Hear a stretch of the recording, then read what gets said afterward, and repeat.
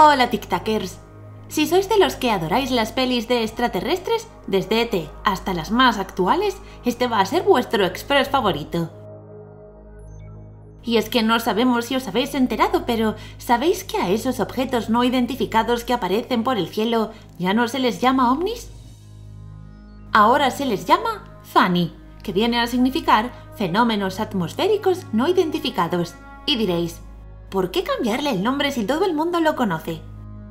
Pues un poco por eso, porque últimamente ya despertaba más risa que otra cosa.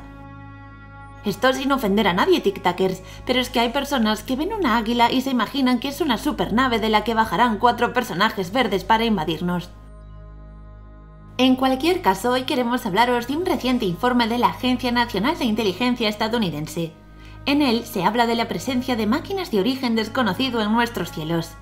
Estas observaciones fueron realizadas por pilotos militares o desde buques de la Armada estadounidense.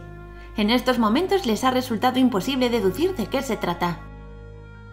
Una de las novedades de estos avistamientos es que fueron percibidos a través de una serie de sensores y las grabaciones son bastante sorprendentes.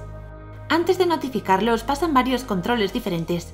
Con estos decimos tic-tackers que si lo han escrito en ese informe es que son reales y lo que describen también es bastante extraño. Los objetos parecen no tener alas o cualquier aparato que les permite volar ni tampoco un sistema de propulsión. Además, se mueven a unas velocidades muy altas, haciendo movimientos muy bruscos. Nada que se pueda explicar de forma natural, vaya. ¿Serán extraterrestres tic-tackers? Nosotros creemos que no. De hecho, ya hay alguna teoría que podría explicar eso. Se teme que estos extraños vehículos puedan ser fantasmas electrónicos.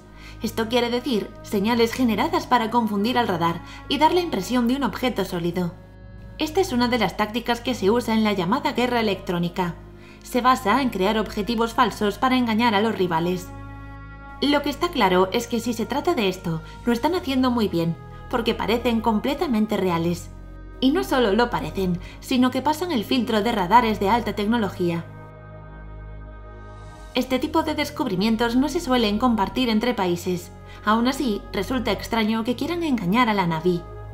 Nunca se sabe, tic-tackers. Cosas más disparatadas hemos visto, ¿verdad? No olvides suscribirte y darle a like si te ha gustado. Y también puedes seguirnos en nuestras redes sociales, Facebook, Twitter e Instagram. ¡Hasta el próximo vídeo!